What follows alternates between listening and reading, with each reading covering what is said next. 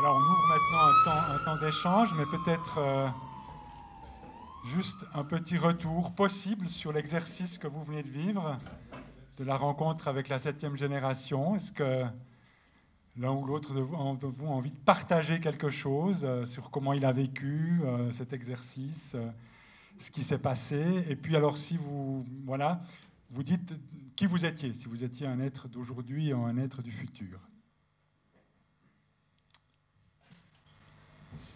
Oui. Merci. Alors, c'était euh, le dernier exercice, pour moi, c'est le plus significatif.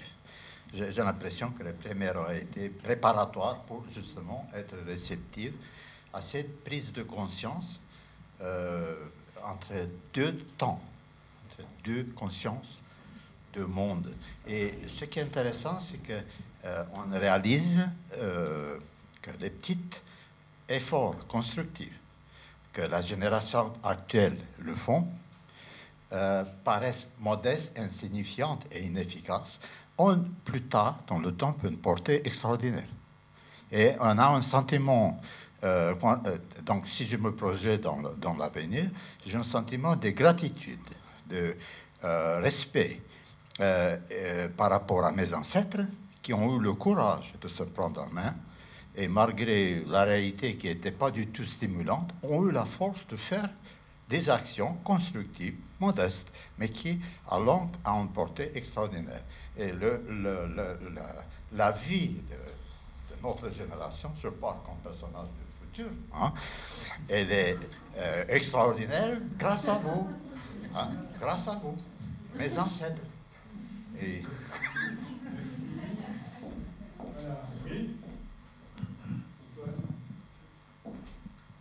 J'avais aussi euh, un grand âge, je devais avoir 200, euh, je sais pas combien d'années.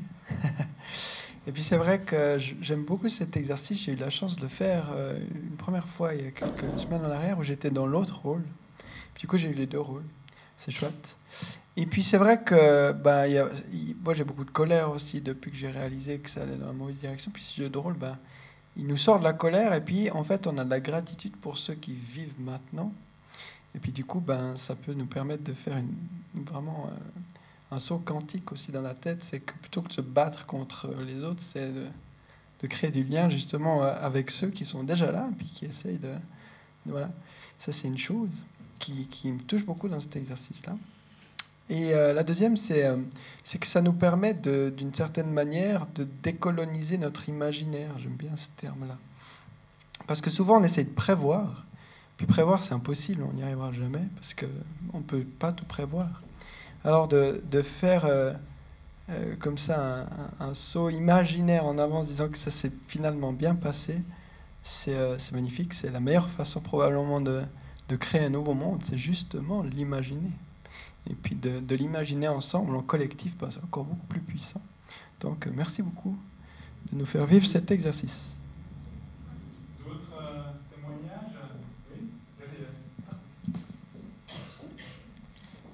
Alors, dans l'exercice, j'étais un, être euh, de notre temps qui donc euh, se trouvait face à un de ses descendants. Et le premier, euh, lors de la première question, quand j'ai dû commencer à parler, le premier sentiment que j'ai eu, c'était un sentiment de honte terrible. je me suis dit, oh là là, qu'est-ce que je vais lui raconter Voilà. Et, et, assez rapidement, je me suis dit, non, non, ça s'est bien passé. Donc, comme vous disiez, puis et du coup, il faut, il faut lui raconter comment ça s'est passé euh, en racontant le réel. Bon, ça m'a, ce sentiment, le premier sentiment, c'est quelque chose que je pensais, auquel je pensais déjà avant, mais ça, m'a donné un, autre sentiment un peu de compassion, je dirais, euh, envers les générations précédentes par rapport à maintenant. Enfin, pour faire un petit exercice de si nous, nous sommes déjà réellement les générations futures, en fait, de ceux qui nous ont précédés. Et euh, quelquefois, on, moi, j'ai pu entendre ou j'ai pu penser euh, que quand même, avant, euh, qu'est-ce qu'ils ont fait pour qu'on en arrive là? Et, et, en parlant beaucoup avec ma grand-mère, qui a un âge très respectable, et en lui posant des questions, euh, par exemple par rapport à des, choix concrets que j'ai pu faire euh, de transition, donc euh, par exemple utiliser des cosmétiques comme ci ou comme ça, en lui disant mais alors toi comment on faisait à ton époque?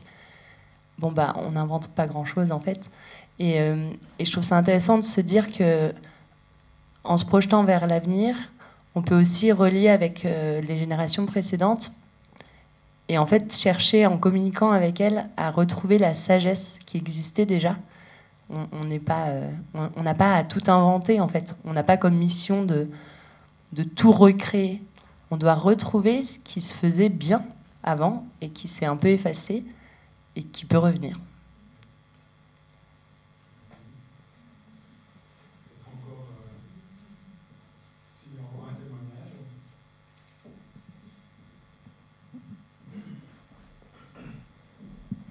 Euh, oui, moi aussi, j'étais un être du futur.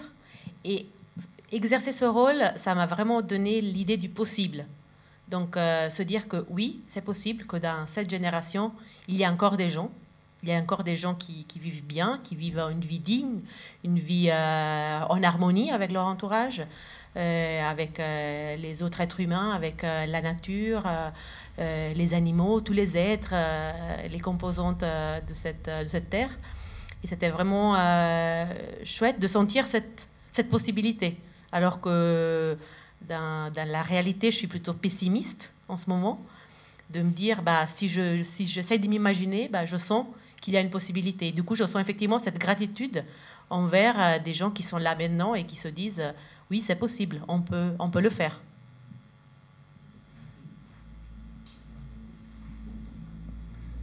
Moi, la, la première impression que j'ai eue en rencontrant mes descendants, c'était du bonheur parce que voilà, je les ai trouvés. C'est-à-dire que malgré les erreurs qu'on a commises, on a réussi à continuer en tant qu'être humain, non? La septième génération. Et puis, euh, que malgré les erreurs qu'on a commises, on a toujours le, les droits et, et, la capacité à réagir et de corriger les, la route, corriger c'est ce qu'on n'a pas bien fait. Et on a tous la capacité de le faire. Et puis, euh, il faut juste avoir la, motivation et la volonté. Et tous, on arrive à réaliser tous les changements qu'on désire bien faire.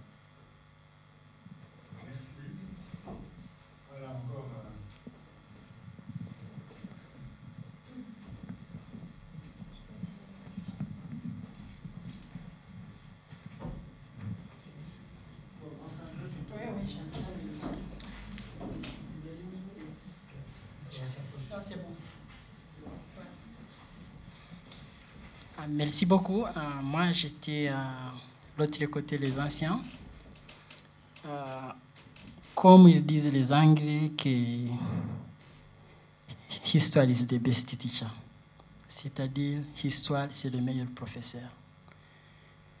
Parce que si on arrive à vraiment écouter les histoires, qu'est-ce qui s'est passé il y a des années, des années, ça nous aide. Moi, je vais vous raconter histoire. En Afrique, il y a beaucoup de choses par rapport à la nature. Des arbres. Je pense qu'il y a cinq ans, au Chauve, ils ont publié un article qui disait qu'il faut croire à la médecine africaine. Les gens sont jamais des gens de 80 ans, 90 ans, sont jamais allés à l'hôpital. Jamais ils utilisent des arbres, les feuilles, pour vraiment trouver un médicament. Mais si on n'arrive pas à parler avec les anciens pour nous expliquer notre génération, on ne sait rien. On a quitté les villages, tout le monde, ils sont en ville. On ne sait rien, qu'est-ce qui se passe. On n'a pas du temps même à discuter avec eux ah bon, on arrive là-bas. Eh, salut grand-papa. C'est bon, c'est fini, cinq minutes. Mais par rapport à ce qu'on a fait, ça nous rend conscient exactement qu'est-ce qui s'est passé, qu'est-ce qui se passe aujourd'hui, qu'est-ce qui va passer dans des années futures. C'est-à-dire, on a manœuvre de démarche pour écouter, après écouter, on doit dire oui, ça c'est juste ou bien c'est pas juste. Vraiment, c'est très important parce que maintenant on vit dans période de dot-com. C'est qu'est-ce que j'entends? Tout on cherche sur Internet. Mais nos grands-parents qui n'ont jamais vécu avec Internet, ils sont là. Ils sont là pour vraiment nous guider. Merci beaucoup.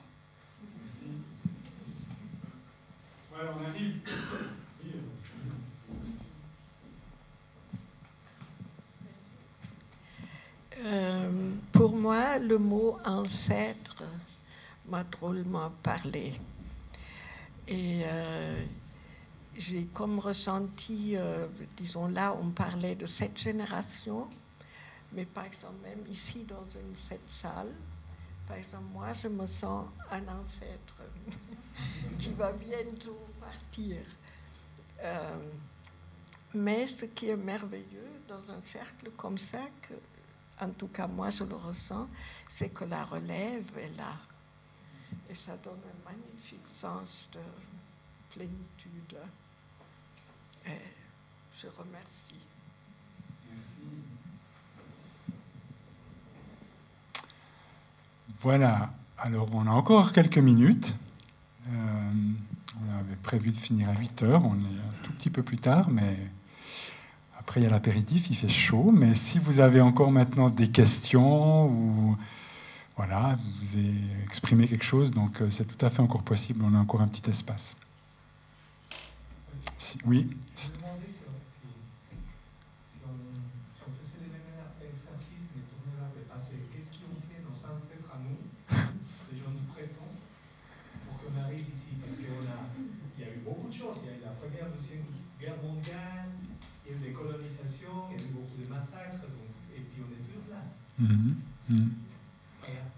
Voilà, c'est un exercice à inventer, à imaginer. On pourrait essayer. Mais c'est vrai que cet exercice, voilà, il nous inscrit dans un temps long. Alors là, on s'est projeté vers l'avant. Mais c'est vrai qu'il y a dans cette histoire de gratitude, et comme je l'ai dit, euh, par rapport à, la, perception, à la conscience de qui nous sommes, il y a aussi évidemment ce lien avec toute l'histoire de la Terre, avec tous les êtres qui nous ont précédés, et voilà aussi les êtres humains, les générations précédentes, parce que on s'inscrit, et c'est ça qui est important, on s'inscrit dans une, dans une longue histoire dont on hérite, euh, mais en fait qui se continue. Et je crois que c'est ça, d'entrer dans cette conscience, mais profonde, pas uniquement intellectuelle, de ces liens euh, qu'on a jusqu'on sait que c'est juste que voilà, le, le transgénérationnel, c'est dans nos cellules, c'est dans notre corps. Mais en fait, c'est aussi le transgénérationnel avec tous les êtres de la Terre. On ne porte pas uniquement euh, la mémoire de l'humanité, on porte la mémoire de toute la Terre. Et en fait, je pense que de s'inscrire là-dedans, ça donne de l'humilité, ça donne de la gratitude, mais on peut aussi en tirer beaucoup de force, en fait. Beaucoup de force. Et d'espérance.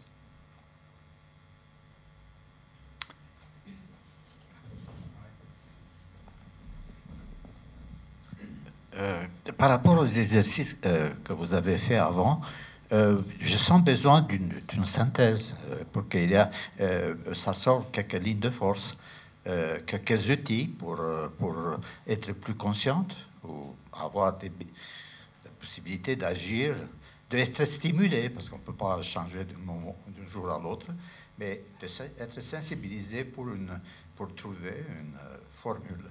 au niveau collective, euh, ce que j'ai observé euh, par rapport euh, entre le contraste des forces d'entraînement et des forces de résistance. Ce qui était intéressant, c'est que on trouve le remède à la force de résistance, c'est exactement l'opposé. C'est incroyable. Donc, quelque part dans la société d'aujourd'hui qui est à l'envers, on peut, si on veut la, comprendre manière peut-être un peu plus cohérente et juste, il faut mettre la tête en bas et les pieds en haut, quelque part, inverser les choses. Euh, et euh, ce qui est sorti comme outil dans ce sens-là, et je termine avec ça, je ne veux pas prendre trop de temps, c'est que euh, par rapport à quelques maladies de notre époque, hein, la séparativité, ça sort comme remède l'opposé, la conscience de l'unité. Donc on est liés ensemble, on veut ou on veut pas, c'est comme ça. Donc euh, euh, la séparabilité, c'est dans notre tête. Et si, euh, dans, au niveau de conscience, on, on, comprend que comme la nature, tout est lié, le petit avec le grand, aussi mon, mon être intérieur, il est lié à toute l'humanité, et que comme il y a l'échange, l'évolution entre le monde d'hier et le monde du futur, c'est qu'en travaillant sur moi, par exemple, je peux aussi euh, être un stimule pour que la collectivité euh, soit stimulée hein, en fonction de l'intensité de, mes actes. Une autre chose qui, dans ces séparativités, par exemple, euh, on a la méfiance, on est isolé, c'est un grand, grand problème à l'heure actuelle. Alors, en ayant confiance, c'est le contraire de la méfiance. Confiance sur quoi? Alors, il s'agit de trouver des principes de vie, d'après les lois de la nature, de décrypter, et euh, euh, c'est la, la, livre de la nature vivante qui nous montre comment ça fonctionne et le traduire dans notre espace intérieur. Une autre chose très, je termine avec ça, ça c'est des idées fortes que j'ai un, monde très individualiste, égoïste. Ben, pourquoi pas exercer l'altruisme? Parce que moi, j'observais, si j'arrive à convaincre, à aimer quelqu'un, et euh, euh, que la, personne a une difficulté, qui a besoin d'aide, je peux lui donner euh, beaucoup. Et on a vu dans la guerre, on risque notre vie pour quelqu'un. Donc l'attitude égoïste, euh, euh, altruiste, elle est plus, plus euh, performante, si, on veut, à tout prix gagner. En guillemets, gagner, C'est que par l'altruisme, l'autre est capable de donner tout hein, par l'amour, hein, même sa vie. Donc il y a un, truc qui ne joue pas dans la tête de la jeunesse, dans, dans les valeurs de la société, parce qu'on on est considéré, quand on fait des efforts sur, sur euh, l'altruisme, qu'on est des rêveurs, qu'on est des euh, euh, utopistes, ce qui n'est pas mauvais en soi, mais qu'on n'a pas les pieds sur la terre, naïf. voilà. Donc les valeurs humaines du cœur que vous avez signalées, c'est là qu'on doit s'appuyer. Merci beaucoup. Encore, on peut aussi continuer après évidemment la discussion autour de l'apéritif. Alors peut-être juste, euh, alors merci pour cette synthèse. Euh, et je pense que vous avez en tout cas mis le doigt sur, euh, je dirais un, vous avez mis le doigt sur plein, plein d'éléments essentiels, mais j'en relèverai peut-être juste un, c'est que toute la démarche dont John Amessi fait partie, toute cette école, ces courants de l'éco-psychologie, justement qui travaillent à étudier et à vivre les interrelations profondes entre l'être humain et la nature, eh bien, en fait, quand ils vont à la racine des problèmes écologiques, en refaisant aussi toute l'histoire, disent que c'est tout un processus de déconnexion extrêmement profonde entre l'être humain et la Terre et tous les êtres qui l'habitent. Et on est justement dans des dualismes, on est dans des oppositions. On se, on se ressent comme euh, à la fois comme en dehors de la nature. D'ailleurs, le mot environnement est, problématique, puisque quand on parle d'environnement, c'est ce qui m'environne. En fait, donc je suis au centre anthropocentrisme, et c'est ce qui m'environne. C'est comme si j'en étais séparé. Et en fait, les, éco, donc les éco-psychologues disent, voilà, on, donc tout, un, une des voies pour la guérison, la guérison conjointe de la Terre et de l'être humain, ça va être tout un chemin de reconnexion. Et ça, c'est quelques petits exercices qui, justement, vont aider à faire ce travail de reconnexion et à comprendre que, en réalité, eh bien, le moi n'est pas, nous ne sommes pas séparés de la nature. Nous croyons que nous sommes séparés de la nature et nous avons tout un système philosophique, économique, etc., qui nous, qui nous enracine dans cette croyance. Mais il faut plutôt parler, plutôt que de moi séparé, il faut parler de moi séparant. C'est-à-dire qu'il y a en nous, justement, euh, toute une série d'éléments qui font que nous nous considérons. Et en fait, voilà. Et là, on retrouve justement cette grande, ce grand retournement, ce grand. Et alors, vous avez parlé peut-être avoir les pieds. Peut-être que je pense que notre monde, en réalité, vit euh, la tête en bas et les pieds en haut, et qu'en fait, il faut peut-être maintenant remettre les pieds sur terre et retrouver justement euh, cet axe. On s'est mis debout au début de la réunion, cet axe entre la terre et le ciel et l'être humain. Justement, une de ses fonctions, c'est juste peut-être d'être un, pont euh, entre ces deux dimensions, entre la terre et le ciel, et puis aussi horizontalement avec tous les êtres qui l'habitent, et justement aussi de pouvoir vivre et incarner cette unité. Donc je vous remercie beaucoup. On a juste encore une ou deux petites informations pour la suite. Donc au niveau du laboratoire, vous trouverez des... Voilà, quand on aura enlevé les manteaux, vous trouverez quelques dépliants.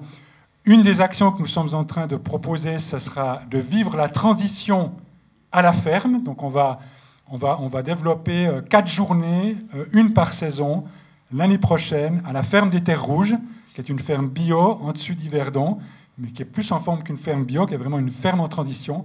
Et donc on va proposer quatre journées avec plein plein d'activités, aussi une, grande dimension d'intériorisation et vivre en fait avec ces paysans dans leur ferme pendant quatre journées. Il y a aussi euh, les conférences que nous avons reprises euh, au Casino de Montbenon. Il y a eu la première la, semaine dernière. On a eu un premier cycle qui s'appelle Tout peut encore changer. Et donc on continue maintenant avec quatre conférences, uniquement des conférencières femmes. Et la prochaine conférence, c'est début mars. Vous trouverez avec Corinne Pelluchon qui va en fait thématiser la question de la transition à travers, en questionnant notre relation à l'animal. Voilà. Et puis, il y aura aussi deux feuilles où vous pouvez inscrire votre nom, prénom et votre email si vous souhaitez être informé euh, de tout ce que nous proposons à travers notre newsletter. Et puis, je signale aussi, si vous voulez encore expérimenter le travail qui relie, euh, Michael va me corriger que c'est le 20 euh, décembre, le jeudi 20 décembre, à Pôle Sud, l'occasion de vivre pendant deux heures des exercices de travail qui relient, organisés par le réseau roman d'écopsychologie. Tu voulais encore faire une ou deux annonces? Moi, je voulais juste vous annoncer la conférence de mardi prochain à l'Institut de hautes études internationales et du développement à Genève de Pablo Servine, qui est un grand activiste de la... Euh, Pablo... Excusez le. Pablo Solon, qui est euh, activiste et qui a écrit Le monde qui émerge, les alternatives qui peuvent tout changer. Donc voilà, ce sera une conférence débat. Je vous invite.